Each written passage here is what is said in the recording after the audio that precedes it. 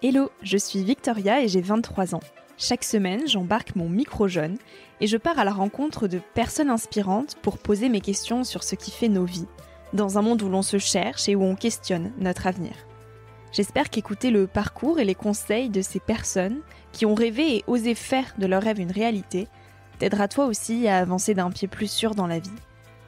Alors je t'invite à emprunter un nouvel œil pour regarder le monde sous un autre angle pour te recentrer sur ce qui est essentiel et sur qui tu es pour t'aider à trouver ton chemin et surtout à oser.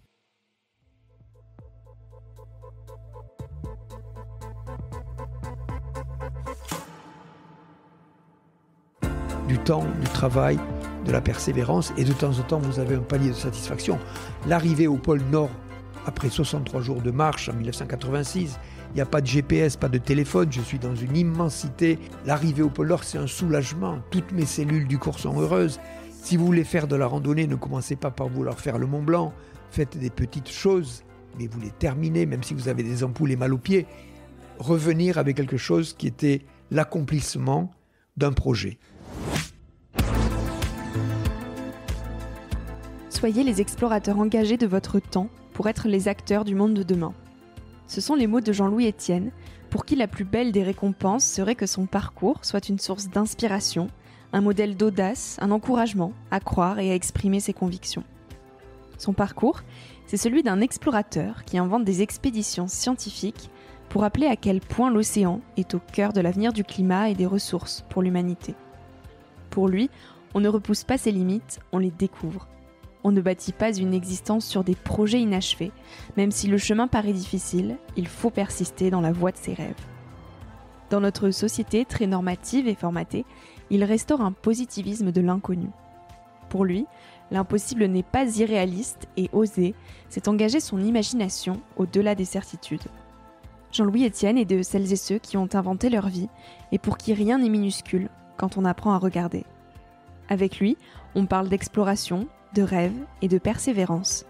J'espère que cet épisode te donnera l'envie d'être l'explorateur de ton propre monde. Bonjour Jean-Louis Etienne. Bonjour Victoria. Merci de m'accueillir chez vous, à Paris. Vous êtes explorateur et aventurier. Et c'est après une formation de tourneur-fraiseur euh, et un internat en chirurgie que vous décidez de mettre vos compétences de médecin au service d'un rêve, celui d'explorer et d'arpenter le monde. Vous êtes le premier homme à avoir atteint le pôle Nord en solitaire, en tirant votre traîneau pendant 63 jours. Et depuis cette aventure, euh, on vous arrête plus. Mais quel petit garçon vous étiez, Jean-Louis Etienne? Alors, quel garçon j'étais? Moi, je suis né à la campagne, déjà, dans un village de 800 habitants, vous voyez. Mon père était tailleur, faisait des, des costumes, des tailleurs d'habits. Derrière chez nous, il y avait euh, les champs. C'était vraiment la campagne. Et j'aimais vivre dehors. J'aimais la nature, c'était mon refuge, la nature.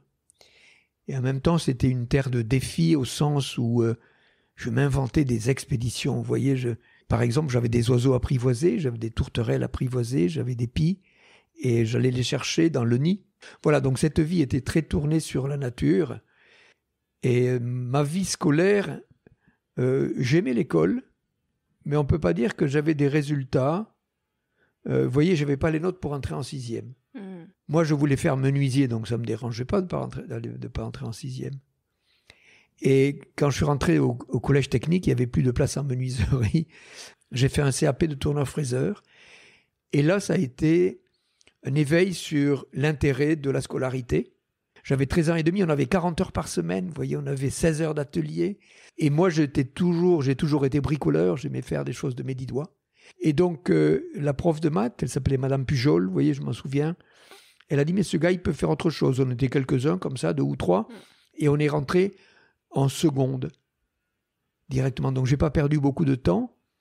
Et, le bac, c'était quelque chose que je n'avais pas imaginé. Qu'est-ce que je vais faire avec le bac? Donc là, à ce moment-là, vous n'aviez pas d'idée précise de ce que vous vouliez faire plus tard? Non, je n'avais pas d'idée précise, mais j'avais ce, ce bac qui arrivait là, et donc je n'avais pas imaginé qu'est-ce que j'allais faire avec. Donc, euh, mm. C'était un cran au-dessus de ce que j'avais imaginé en tant que de, formation. Mais quand vous pensiez à la vie des grands, vous pensiez à quoi à cet âge-là, vers 20 ans? Je choisis de faire médecine. J'avais, en fait, j'aimais les sciences naturelles. Vous voyez, j'aimais ça. Et j'avais envie d'une d'un engagement social. Et donc médecine correspondait tout d'un coup à ce que j'avais envie de faire. Donc j'ai abandonné la formation technique. Très tôt, je me suis intéressé à la chirurgie. Été étudiant et en deuxième année de médecine, je demande à un chirurgien, un chef de clinique, si l'été je pouvais assister aux opérations, regarder. Hmm. Venez, il m'a dit. Et donc j'étais là tous les jours. J'insiste sur ce mot tous les jours parce qu'en fait, ce qui est important, c'est dans l'engagement, c'est la durée. C'est ce qui vous fait vous-même et c'est ce qui construit le regard des autres. Cette capacité, là, j'étais là tous les jours et au mois de juillet, un peu plus tard, peut-être au début du mois d'août, arrive une urgence de la main. J'étais étudiant en deuxième année de médecine, toujours présent là, et le chef de clinique, il dit à la chef du bloc, Madame Massat, elle s'appelait, elle, il lui dit Habillez Étienne. Habillez Étienne. Habillez Étienne, un chirurgien, on vous habille, vous voyez, vous vous lavez mmh. les mains, vous êtes sans stérile, Vous mmh, mmh. vous touchez pas les vêtements, vous, on vous habille. Habillez Étienne. Et là, c'est un moment magique. C'est que de nouveau, avec mes dix doigts, je, la, médecine, je deviens un acteur, vous voyez, un acteur avec mes dix doigts dans cette médecine que j'avais choisi de faire. Et donc ça a été une révélation qui m'a conduit vraiment devenir chirurgien, c'est qui m'a poussé à être interne, interne en chirurgie. Et là, il est arrivé, au bout d'un moment, une résurgence d'un désir d'enfance de faire des expéditions. Vous mmh. voyez Et donc, j'ai proposé mes services de médecin à Eric Tabarly, qui était un navigateur français. J'ai fait la course autour du monde, j'étais en Himalaya, en Patagonie, etc., comme médecin d'expédition, vous voyez mmh, mmh, Et donc, euh, euh, j'ai abandonné ce que j'ai acquis pour de nouvelles explorations. Et ça, c'est important. J'en parle aujourd'hui avec du recul. Vous voyez, j'ai 75 ans. Vous aviez mis l'accent sur euh, tous les jours, donc une forme de persévérance. Et la persévérance, c'est une valeur centrale dans votre vie. Vous êtes même allé jusqu'à publier un livre qui a pour titre Persévérer. En quoi la persévérance, elle est caractéristique de votre personne? Elle est caractéristique de ma, de ma personne, mais là, je rassure tous ceux qui nous écoutent. Je n'ai pas été le persévérant magique qui, à l'âge de 10 ans, s'engage définitivement. Vous voyez, euh, j'ai eu ces, moments de doute, ces moments de choix. Je dirais que la formation professionnelle m'a aidé à me structurer et à faire un choix vers une scolarité qui était euh, vers le bac. Vous voyez ce que je veux dire Et euh, mais la persévérance, je me rends compte avec du recul que moi, je suis je suis très bricoleur, très tôt, et j'avais un souci d'autonomie. Mm. La mobilette, je la réparais moi-même. Après, j'ai des voitures, jusqu'à l'âge de 45 ans, c'est moi qui réparais mes voitures, tant qu'on pouvait le faire. Aujourd'hui, les voitures, elles parlent, c'est compliqué. Et vous voyez, c'est... Euh, voilà. Mais pour revenir à votre question, la persévérance, je me rends compte que les bases de ce que j'ai acquis, ma structure, euh, la confiance en moi, euh, c'est parce que j'ai clôturé ce que j'ai engagé voyez? Hmm. C'est ça qui est important. Vous avez une idée, c'est précieux l'idée. On n'a pas tous les jours une idée qui vous tient à cœur, vous voyez un truc qui dit mais c'est ça que j'ai envie de faire, voyez C'est précieux au sens où c'est un, peu comme une rencontre amoureuse, c'est quelque chose qui se passe entre vous et un désir profond. C'est de la chimie, de la médecine, on voit, c'est carrément une biochimie, vous voyez Et donc, euh, il faut, à partir de ce moment-là, j'insiste là-dessus, si vous avez une idée à laquelle vous tenez, qui est, qui est récurrente, vous voyez, oui, ça serait bien. Voilà. Il faut s'y lancer. Ça veut dire que c'est pas parce que ça vous plaît que ça va être facile. Il faut y consacrer du temps, du travail et de la persévérance. Et donc c'est, on se construit sur les choses que l'on termine. Vous hmm. voyez, donc ne pas rêver la lune, euh, c'est par un engrenage de choses que l'on termine, on gagne en confiance, voyez, et c'est la confiance qui fait, on gagne en ambition aussi, en se disant mais je peux, je peux peut-être faire ça, vous voyez. Et c'est comme ça en fait ce parcours de, j'appelle ça résister à la tentation de l'abandon. Quand ça devient difficile, on se dit mais ah c'est peut-être pas tout à fait ça, c'est peut-être que vous voyez non si c'est quelque chose qui à un moment donné a émergé en vous comme un besoin, c'est important d'aller au bout. Hmm.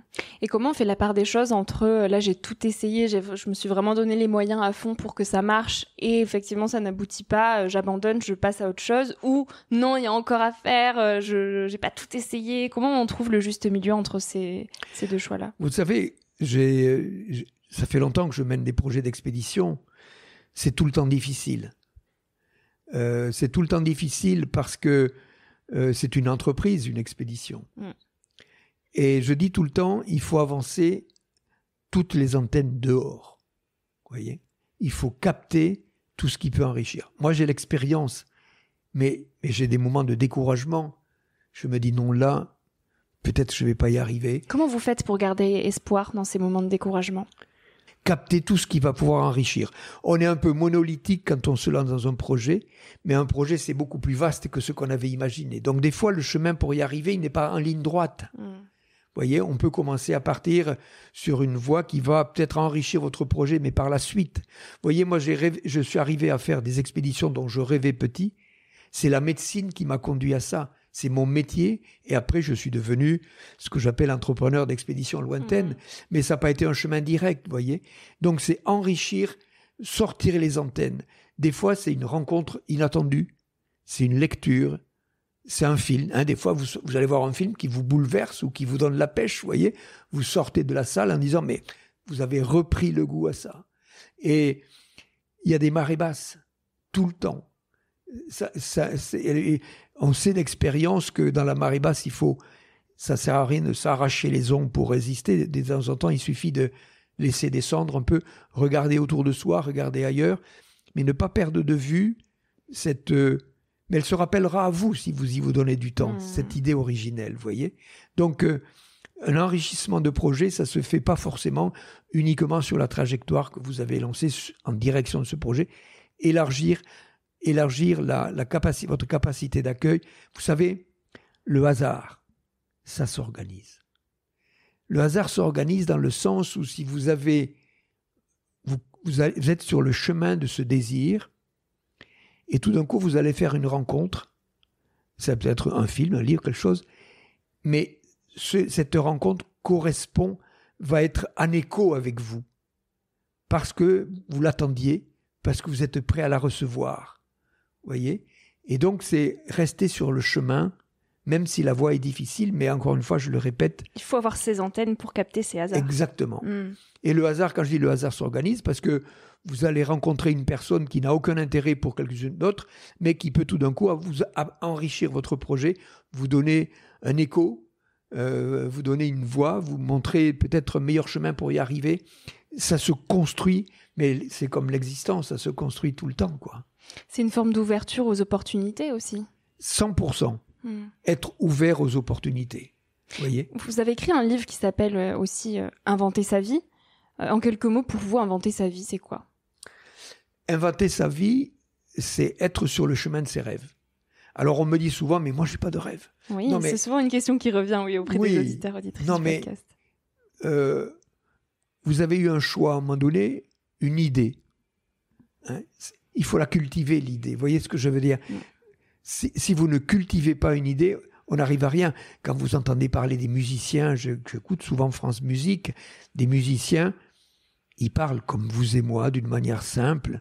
Et puis dès qu'ils commencent à décrire leur vie, ils passent 8 heures par jour à travailler une partition. Vous voyez ce que je veux dire? On a, moi, si je vous parle de mes expéditions, je vais vous amener dans un rêve d'expédition. Mais si vous m'interrogez sur comment on les construit, c'est une vraie entreprise. C'est une espèce de pyramide, si vous voulez, euh, qui repose sur un désir, et après, il faut le- la construire. Et la partie qu'on voit, c'est uniquement la partie émergée, celle dont on parle dans les médias, ou Mm. L'iceberg. l'iceberg, vous voyez. Et donc, c'est ça qu'il faut comprendre. C'est du travail, du temps, de la persévérance. Est-ce qu'il faut une forme d'inconscience euh, pour oser se mettre en danger, comme euh, vous avez pu le faire, notamment pendant vos expéditions? Inconscience, non. Au contraire, j'ai une hyper-vigilance. Mm. Euh, des fois, j'ai peur. J'ai eu peur de temps en temps en allant au pôle Nord, passer sur la glace très fine, et je savais que si je passais à travers, je risquais de ne pas m'en sortir. Donc la peur, c'est quelque chose qui, qui est un signal. Ça veut dire que vous n'avez pas encore atteint la connaissance pour traverser l'obstacle. vous voyez Et donc, ça demande ce travail de nouveau, d'apprentissage. Il y a, il faut aussi, à un moment donné, sortir de sa, euh, faire un choix qui est audacieux, l'audace, vous voyez Ça compte beaucoup pour vous, l'audace. mais c'est fondamental. Mm. L'audace, c'est engager son imagination au-delà des certitudes. Vous savez pas, mais vous avez une envie, et il faut se, il faut se méfier de tout ce qu'ils vous disent autour. Ça n'a pas d'avenir. Euh, je sais pas à quoi ça sert. C'est risqué. C'est risqué, mais on s'en fout. Voyez, moi, par exemple, je, je, je, je le répète, j'avais pas les notes pour entrer en sixième parce que je, je sais aujourd'hui, je l'ai appris avec mes enfants. Ils sont dyslexiques, dysorthographiques, des troubles d'attention. Vous voyez tout ce que l'on décrit aujourd'hui. Mm. Donc, euh, avec du recul, je sais que j'étais, j'étais fait ainsi. Vous voyez Et à un moment donné, ce chemin, le manuel m'a conduit à, au collège technique. Euh, l'apprentissage m'a, euh, m'a aidé tout d'un coup à prendre confiance, à m'intéresser. Et puis j'ai été orienté vers le. Vous voyez ce que je veux vers le bac. C'est pas un chemin euh, facile, mais ce qui est intéressant, c'est de se maintenir sur, sur une trajectoire. Voilà. Et à un moment donné, vous la clôturez. Peut-être vous vous rendre compte que ça sert à rien, mais ça ne sert jamais à rien. Il faut se faire une trousse à outils dans la vie. Hmm. Vous voyez? Elle se compose de quoi cette trousse à outils? d'une multitude de choses, de rencontres. Parler l'anglais. C'est important. C'est fondamental. Fondamental parler l'anglais. Moi, j'ai appris l'anglais au collège technique. Vous voyez, c'était pas brillant. Mais petit à petit, j'ai commencé à voyager. L'anglais, c'est un outil. Alors donc, quand vous dites dans une classe, euh, apprenez l'anglais, je vois les mous là. Vous voyez Et je leur dis, attendez, je prends, je prends mes dispositions par rapport au prof d'anglais. Et donc, je leur dis, l'anglais, mais c'est pas une langue. C'est un outil de travail. Vous multipliez par 100 vos chances de trouver du boulot. Aujourd'hui, quand vous cherchez du travail, que vous dites euh, je parle très bien l'anglais, vous le voyez, Mm. ah, voilà quelqu'un qui va pouvoir ouvrir l'entreprise ou dialoguer avec. Vous voyez ce que je veux dire C'est ça, se faire des outils, Euh, la lecture. euh, alors, je rassure ceux qui nous écoutent. Moi, je suis très dyslexique, je m'épuise dans la lecture, mais je je, je lis sur des petits paragraphes, des choses qui me construisent, quoi. C'est un chantier permanent, l'existence, inventer sa vie. C'est ça qui est intéressant. Explorer. Je donne un autre exemple. J'ai fait, quand je suis rentré de la course autour du monde à la voile, c'était en 78, vous voyez, il y a longtemps, hein. J'avais encore des cheveux, et après un an en mer, j'avais des mèches blondes, une pêche d'enfer. Et je faisais, je faisais des conférences avec des diapositives. Ouais. Et donc, c'était, j'avais un, un- un accord avec euh, un laboratoire. Je devais faire huit conférences pour des, pour des médecins. Donc, ils étaient réunis dans un amphithéâtre, etc. Et alors, donc, quand vous montez euh, par rapport à des médecins qui étaient là, vous montrez vos images, tour du monde, etc. Avec. Et donc, il y avait toujours une dizaine de médecins autour de moi qui me disaient, oh là là, c'est toi qui as fait le bon choix. Nous, on a une, une entreprise, donc un, cabinet, euh, des emprunts, une famille, etc. Deuxième conférence, pareil, et là je me suis dit, il faut que j'arrête l'hémorragie. Et j'avais compris une chose, la troisième conférence, je me souviens très bien, c'est à Lyon. Et pareil, j'ai un groupe de médecins qui vient pour me dire que j'avais fait le bon. Je dis, attendez, ne rêvez pas de ma vie, elle est absolument pas faite pour vous. Vous voyez, moi j'ai fait des choix, je connais les sacrifices que ça représente. J'ai une 403, c'est moi qui la répare. Des fois je dors dans la bagnole. j'ai 33 ans, ma seule, euh, ma seule adresse c'est encore mes parents. Vous voyez. Par contre, on a un truc en commun. Soyez des explorateurs. Soyez des explorateurs de votre métier. Enrichissez. Nous on a appris l'allopathie en médecine en, en- en France, vous voyez. En Chine, je ne sais pas moi, dans- au Japon, il y a d'autres façons de- d'appréhender la médecine. C'est La remise en question. L'enrichissement, Mm. plus que la remise en question, vous voyez S'enrichir, s'intéresser, ouvrir. C'est ça qui est intéressant, explorer. Et c'est pour ça que j'ai, inventé, j'ai écrit ce livre, Inventer sa vie. Inventer sa vie, c'est faire de sa vie une aventure, en fait. quoi. Il y a, euh, il y a, hum, une autre chose qui est fondamentale dans la personne que vous êtes et dans la façon dont vous avez pu mener vos expéditions et donc surmonter ces fameuses peurs euh, face auxquelles vous étiez confrontés parfois, c'est la connaissance de vous-même. Et je sais que vous, vous mettez quand même une grande importance à la solitude dans votre vie. Mhm. Qu'est-ce que vous aimez dans cette solitude? En quoi elle est importante? Alors, la, la solitude, c'est pas quelque chose qui est décidé. Euh, vous voyez, je, quand j'avais 14 ans, j'ai fait une liste de matériel euh, à partir d'un catalogue qui s'appelle le catalogue de la hutte. Il y a très très longtemps, il y avait toute une série. de- C'était pour aller camper, faire du sport. C'était un catalogue. Et j'avais fait une liste de matériel pour aller camper dans les Pyrénées en hiver. J'avais 14 ans et aujourd'hui je regarde ça, je me dis pourquoi en hiver? Et, et, et, et je, me, et je regarde, dans les choix que j'ai faits, j'étais seul. Vous voyez, dans ce choix. Dans le, je n'y suis pas allé, mais c'était euh, une préparation de, de rêve d'expédition, vous voyez. Donc la solitude, je sais depuis longtemps que c'est quelque chose qui est, qui est constitutif. C'est mon refuge. La, la solitude m'accompagne et dans le bon sens du terme. C'est du temps avec soi euh, qui, qui, qui, est constructif, qui est, qui est apaisant pour moi. Euh, mais je passe pas mon existence seul. Vous voyez, je, j'étais demi de mêlée du Castre Olympique il y a longtemps. Oui. J'aimais l'équipe, j'ai adoré l'équipe. J'étais demi de mêlée. J'étais ce, ce, gars qui passe, met la balle sous la mêlée, puis etc. J'étais un lien, je, lien entre les, les, costauds de la mêlée et puis les gazelles qui galopent, quoi. Hein. et j'aimais l'équipe. J'ai fait la course autour du monde avec Eric Tabarly. On était 14 à bord, donc j'ai aimé cette vie d'équipe. Mais j'ai toujours besoin d'un temps de solitude, d'un temps à moi. Et sincèrement, c'est vivre avec soi. On a très peu d'occasions de, vivre avec soi. Vous voyez, vous vous promenez seul dans la nature. Moi, je vois, j'habite, ça c'est mon bureau, là-haut, vous voyez, dans les, dans les bois. Waouh, c'est où? Dans le Tarn. Ah oui. Vous êtes né là-bas? Oui. Mm. De, de, là où je suis, je vois le village où je suis né. Vous voyez, c'est. Euh... Oh, c'est magnifique. Oui. Et là, je peux y aller seul. J'ai le sentiment que si vous voulez, la nature, elle vous nourrit quand vous lui laissez la place d'entrée. Hmm. Et donc, c'est tout simplement l'apprentissage du regard. Euh, rien n'est minuscule quand on apprend à regarder. Euh, pour moi, ce qui me fascine totalement, c'est la vie elle-même. Une fleur, les fleurs qui est...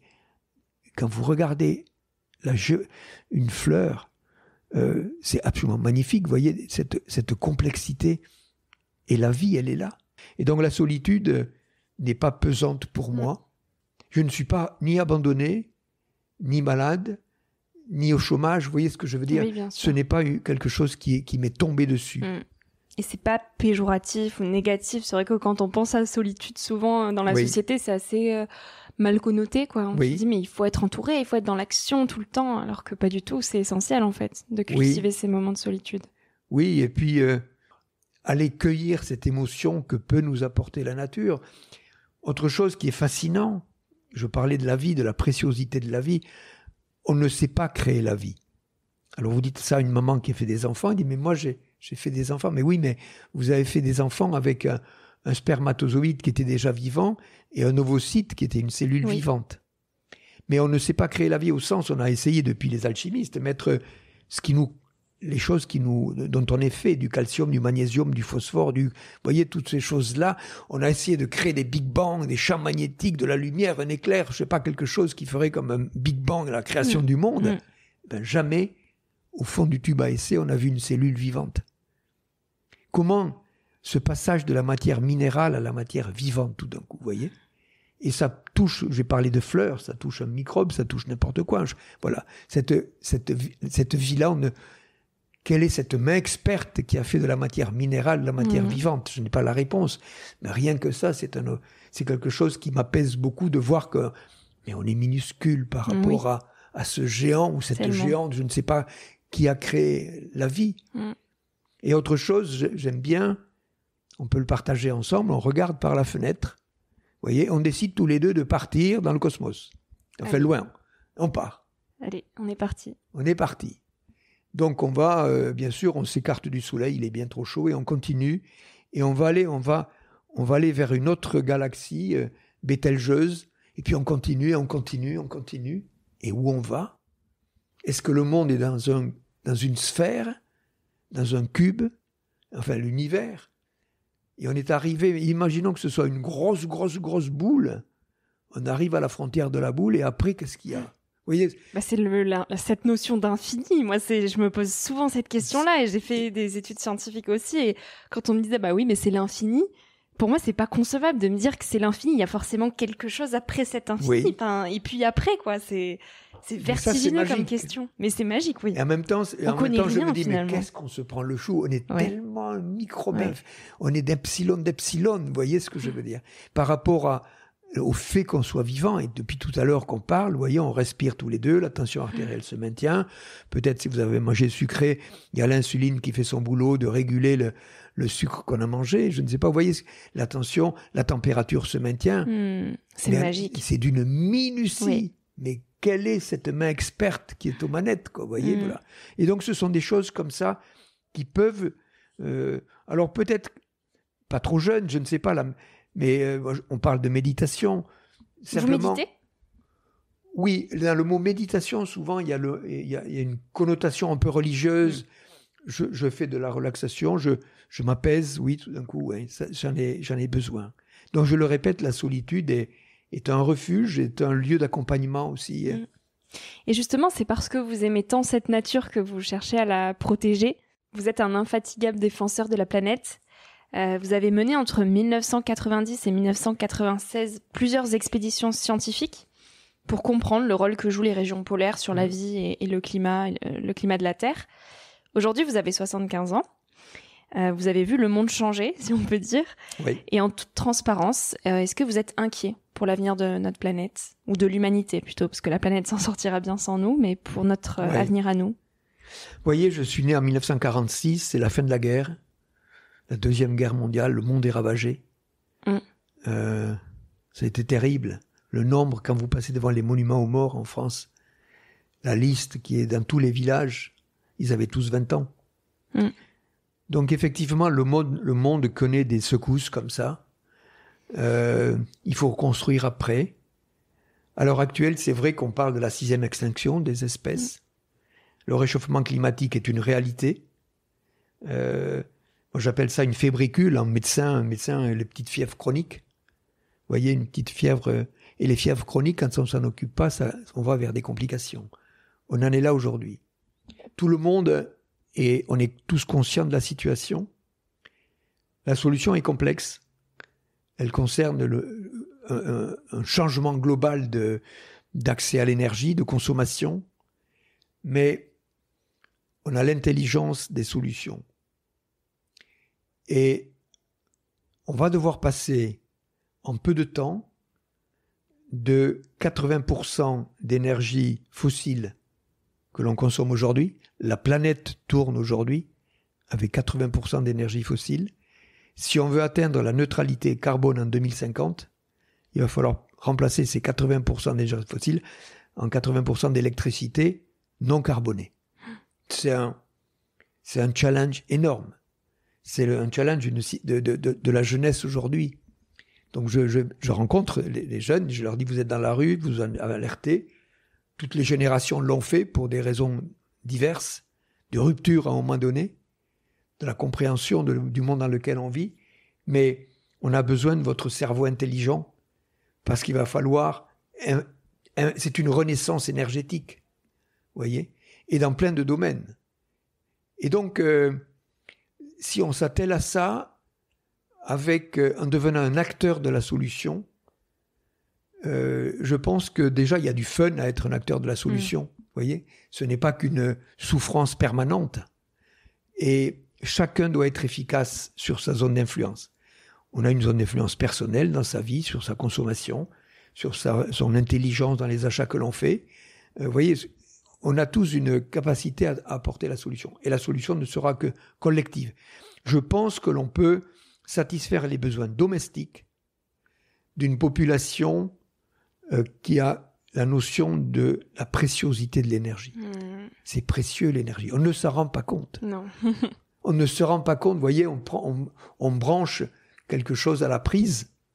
On ne sait pas si ça consomme 10 watts, 1 kilowatt, 10 Non. kilowatts. On laisse le téléphone branché toute la nuit, on se rend pas compte. euh, Oui. Vous voyez, quand on parle d'économie, on parle en dollars, on parle en euros. Et quand vous dites 100 000, on a une idée de ce que c'est 100 000 dollars ou 100 000 euros, un million, un milliard, même si on n'a pas trop de la notion de l'euro, du milliard. Mais si je vous dis, peut-être pas à vous, mais d'une manière générale, kilowatt, mégawatt, Mm. gigawatt, terawatt, qu'est-ce que ça représente, voyez? Et c'est vrai qu'on n'a pas la notion de la quantité d'énergie que l'on consomme parce que ça a été, et c'est toujours tellement facile d'accès. Et on pense que c'est acquis. On pense que c'est acquis et ça nous rend tellement de services. Quand on habite en ville, dans un immeuble où je suis là, en bas de temps en temps, vous avez un panneau. Mardi, l'électricité sera coupée de 9h à 18h. Mm. Vous êtes désemparé. Oui, euh, justement ce jour-là, vous aviez. Vous voyez ce que je veux dire? On a. C'est tellement facile qu'on ne s'en rend pas compte. Et donc, euh, je le répète, je pense qu'on peut se satisfaire. On peut satisfaire les besoins domestiques. Je dis bien domestiques. Des besoins, des besoins domestiques, pardon, d'une population qui, qui sait ce que c'est que l'énergie, qui sait comment on la consomme, comment on l'économise, comment on la stocke, qui a isolé l'habitat. Et je pense que ça, c'est la force des territoires. Dans un territoire, quand vous dites aux gens, moi, voyez, là où j'habite, dans la campagne, dans le Tarn, j'ai 80 panneaux solaires sur le toit mm. et j'ai 6 éoliennes à, à 800 mètres de chez moi. C'est moi qui ai défendu, quand elles ont été proposées, la mairesse du village, qui est tout petit, elle m'a dit, ça va me payer la moitié de la voirie. Le vent qui souffle et qui fait tourner les pales, ça paye. Elle, parce qu'il y a une obligation d'achat de, de l'EDF. Et pour moi, c'est pareil. Et donc, je dis aux gens, tous les ans, l'EDF, qui a une obligation d'achat de mes panneaux solaires, me fait un chèque cette année encore de 3500 euros. C'est un bon investissement. Surtout aujourd'hui où les panneaux solaires ne sont plus très chers. Au lieu de mettre à la caisse d'épargne, je ne sais pas peut-être le chef de la caisse d'épargne nous entend, mais on peut proposer autre chose, ça rapporte pas grand-chose, vous voyez. Soyez des acteurs de la solution, mettez des panneaux solaires sur le toit, vous avez une petite voiture électrique, parce qu'on va tous vers la voiture électrique, on le voit bien, une petite voiture. Vous allez faire le plein avec le soleil, hmm. vous allez devenir des autoconsommateurs, vous êtes un acteur de la solution. Et puis ça va vous plaire. Et vous allez prendre la météo, et vous allez voir que mardi, il y a du soleil. Mardi, a du soleil, vous faites la lessive, puisque la, la, machine à laver va tourner avec le soleil. du bon sens, en fait. Du bon sens, vous hmm. avez tout à fait raison. Mais en, en devenant un acteur de la solution, on se prend au jeu et, vous voyez, et ça, ce n'est plus une souffrance permanente que de se dire, mais qu'est-ce qu'ils font? Parce que je, qu'est-ce qu'on me dit en conférence tout le temps, peut-être qu'on vous le dit à vous aussi, et vous ne trouvez pas qu'ils, ne font rien, sous-entendu les autres, quoi, hein. C'est tellement plus simple de remettre la faute sur les autres. Il n'y a pas un bouton on et off, vous voyez. C'est sûr. Et, voilà. Et donc je leur dis, et vous, qu'est-ce que vous faites? Bien sûr. Et je, je, leur dis ce que je viens de raconter. Devenez un acteur de la mm. solution. Montrons l'exemple. Donc, Est-ce que je suis inquiet? Euh, Je pense que si on ne fait rien, on va vers, une planète qui va être euh, vraiment inconfortable avec des étés à 40, 45, vous voyez ce que je veux dire C'est une réalité. On le voit en Inde aujourd'hui, des pics à 60 degrés en ce moment. Donc on a intérêt, mais l'action, elle, doit être efficace tout de suite. Il y a des grands bouleversements. J'ai évoqué la guerre de, à la fin, j'étais tout jeune à la fin de la guerre. On voit ce que c'est quand on regarde des images, ce qui s'est passé à l'échelle planétaire. On vit aujourd'hui une guerre euh, avec la Russie qui a déclaré la guerre, avec des, des inquiétudes. Et regardez le phénomène, ce phénomène-là, totalement inattendu, qui amène l'Europe vers des choix de se réunir pour trouver des solutions différentes, pour développer maintenant certainement les énergies renouvelables parce qu'on va avoir besoin, accélérer la transition vers du gaz ou du pétrole qui devient compliqué à avoir, qui va devenir très cher. Voyez, donc il y a des événements comme ça qui sont circonstanciels et qui nous arrivent. Espérons qu'on ne va pas avoir une grosse météorite qui nous tombe dessus comme qui a fait disparaître les dinosaures. Mais il y a de temps en temps des grands changements qu'on a vécus. la Covid a permis de mettre en évidence l'intelligence humaine. On est des mm. mutants surdoués. Le vaccin à l'ARN messager, c'est prodigieux. Vous voyez, on a trouvé ça en peu de temps. Mm, mm. Vous avez un certain recul aujourd'hui sur la vie. Qu'est-ce que cette vie vous a appris? Euh, que vous n'avez pas lu ou vu dans vos cahiers d'école? Écoutez, dans les cahiers d'école, on apprend. Je me souviens qu'on apprenait l'histoire. Je n'aimais pas l'histoire. Je me souviens de ces livres d'histoire où on nous montrait la civilisation grecque et puis après des dates qu'il fallait apprendre. Ça ne m'intéressait pas du tout. Ça ne m'a jamais enrichi. La littérature, j'avais du mal à lire voyez Donc, euh, on apprend un canevas, on apprend à lire, à compter, à écrire. Donc, ce sont des bases intéressantes, mais, mais c'est l'existence qui vous apprend. C'est l'engagement qui vous apprend, voyez euh, la relation aux autres, la complexité du monde, euh, trouver des solutions. Et je le répète, c'est la vie peut, peut devenir un enrichissement permanent. Enfin, permanent, c'est pas toutes les minutes, mais une trajectoire, s'engager sur une trajectoire, même si c'était pas l'objet d'une grande passion au début, ça peut le, le devenir. Moi, quand je parle de mes expéditions, on me dit, mais vous, vous avez la passion, ça a l'air facile, quoi. Non, la passion, vous savez, c'est comme le feu. Si vous mettez pas des bûches, Elle ça s'arrête. Et les bûches, des fois, elles sont pas dans le jardin. Vous voyez, des fois, Ouais. il faut aller loin. Ouais. Donc c'est ça, je le répète tout le temps, du temps, du travail, de la persévérance, et de temps en temps, vous avez un palier de satisfaction. Mhm. L'arrivée au pôle Nord, après 63 jours de marche en 1986, il n'y a pas de GPS, pas de téléphone, je suis dans une immensité, Mm. dans, une dans une retraite d'une grande intensité. L'arrivée au pôle Nord, c'est un soulagement. Toutes mes cellules du corps sont heureuses. Vous voyez ce que je veux dire? Donc c'est, c'est- si vous voulez faire de la randonnée, ne commencez pas par vouloir faire le Mont Blanc. Faites des petites choses, mais vous les terminez, même si vous avez des ampoules et mal aux pieds. Revenir avec quelque chose qui était l'accomplissement d'un projet Et toujours aller au bout. Et toujours aller au bout. Vous voyez, dans des écoles où je, un peu moins maintenant, parce qu'on fait plus de modèles réduits, mais on en faisait avant, des modèles réduits d'avions ou de bateaux, donc on achetait des maquettes, c'était découpé, il fallait découper dans du bois, du balsac, coller, et on faisait voler ou naviguer, sauf qu'on faisait un avion, voilà. Et donc moi je sais que j'ai commencé des trucs que j'ai pas fini. Et donc, euh, je, dis dans une classe, je le disais, qui c'est qui a commencé un modèle réduit d'avion ou de bateau, là, qui n'a pas volé, qui n'a pas, qui a pas flotté. Alors moi, je levais la main parce que j'ai commencé des trucs que j'ai pas fini, je suis pas parfait. je dis, tu rentres à la maison, tu le termines, tu fais voler ton avion, tu, ta vie va changer. Parce que tu auras clôturé quelque chose qui, à un moment donné, t'a donné envie, puis t'as abandonné. Toutes les choses qui vous ont donné envie et qu'on abandonne, ça s'appelle une frustration. Puis après, on a des regrets plus tard. On a des regrets plus tard, et on ne peut pas se consolider sur des choses inaccomplies qui sont des frustrations et qui vous amènent à douter de vous-même, quoi. Jean-Louis Etienne, vous nous avez donné quand même beaucoup de conseils dans cette interview, mais pour euh, clôturer, si vous aviez un conseil à partager aux jeunes d'aujourd'hui, ça serait lequel? Alors, j'ai une phrase qui est toute faite, mais j'ai essayé de l'enrichir un peu. Je leur dis tout le temps soyez des explorateurs engagés de votre temps. De notre temps. Oui, du temps présent. Oui. Pour être les acteurs du monde de demain. Vous voyez? Euh, Je me rends compte de la difficulté qu'on peut avoir aujourd'hui avec ce que j'appelle un prolongement exosomatique, quoi. hein. Quelque chose qui fait Cette complètement troisième main. qui fait partie de nous. C'est plus qu'une main, c'est un cerveau, c'est. euh, vous voyez, c'est. c'est- c'est- Le Donc il y a beaucoup de choses dedans. Oui. Et je dois dire que je m'en sers beaucoup. Ça m'amène beaucoup. Je suis, euh, je passe des, des heures et des heures sur l'ordinateur parce que on va très vite, on fait des mails, puis on a des informations très rapides aujourd'hui. Donc tout ça, je trouve que c'est quelque chose qui nous apporte beaucoup. Je pense que ce qu'il faut retrouver un peu, c'est euh, revenir à, à un jugement personnel, à son libre arbitre. On est euh, totalement englouti par la somme des informations qui nous arrivent. Et les informations qui nous arrivent, elles sont, si vous voulez, si vous écoutez soit les télévisions d'information, soit les radios, euh, c'est la même chose, elles vous passent les mêmes choses.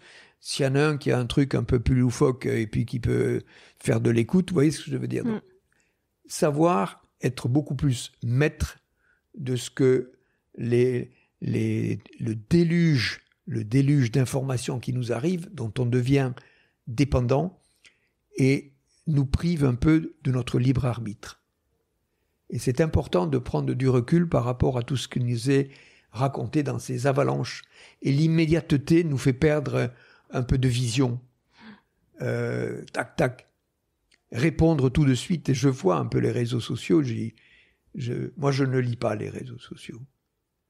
Je, je les fréquentais un peu. Je me souviens, des fois, on se fait attaquer sur les réseaux sociaux. hein, oui. Vous voyez, il y a toujours ceux qui sont Sûr. ceux qui sont pas contents de vous. Alors vous êtes un bon citoyen, vous essayez d'expliquer. Mais en fait, celui qui a attaqué, il s'en fout. Il, il a, vous n'allez pas le convaincre, vous voyez ce que je veux dire. Et donc ça enrichit une espèce de polémique euh, qui est de nature à, m'affaiblir. Ça me met dans l'émotion, contrarié, et, et pour, et pour pas grand-chose. Donc euh, on vit dans un monde où il y a accès d'abord à des choses simples dans notre pays. On a accès à l'éducation et à la santé gratuitement. Vous vous rendez compte quand vous avez, par rapport, moi je dis tout le temps, écoutez RFI, Radio France Internationale. Ça parle de l'Afrique, de l'Asie, de Et là, vous vous rendez compte et vous dites, attends, mais, mais je, je vais arrêter de me plaindre. Quand On même, a quand même de la chance. hein. On vit dans une démocratie. Euh, on peut dire, même si ça va pas, vous voyez, des choses comme ça, on a la, on a la chance. Donc renouer, renouer avec ce, avec ce pays, avec cette vie, si vous voulez, qui nous est proposée par ce pays, qui n'a pas toutes les vertus, mais en prenant un peu de recul par rapport à toutes les informations qu'on nous donne, qui sont souvent fausses, qui sont pour faire du buzz, euh, et puis le buzz entraîne le buzz, ça. et savoir sortir un peu de, de cette avalanche-là. Et quand je parlais de solitude, qui est un moment avec soi, euh, avec l'expérience, on arrive à passer du temps avec soi. C'est passer, se laisser passer le temps sans avoir l'impression de le perdre. C'est beau. Bah, c'est une jolie phrase de la fin, tout ça. Merci beaucoup, Mais Jean-Louis C'était avec plaisir, c'est vous que je remercie. Merci. Merci à toi d'avoir écouté l'épisode jusqu'ici. Si ce moment t'a plu, je t'invite à le partager, à laisser quelques étoiles sur iTunes ou Spotify, ou à faire une story sur Instagram pour que je puisse te repartager. En attendant de se retrouver lundi prochain, tu peux me suivre au quotidien et m'écrire sur la page Instagram Nouvel Oeil. Sur le site internet www.nouveloeil-podcast.com, tu pourras aussi t'abonner à ma newsletter. J'y partage des inspirations, des nouvelles, des astuces et des petites choses qui font notre quotidien. Je te dis à la semaine prochaine pour de nouvelles aventures et en attendant, savoure la vie comme il se doit et fais des choses folles.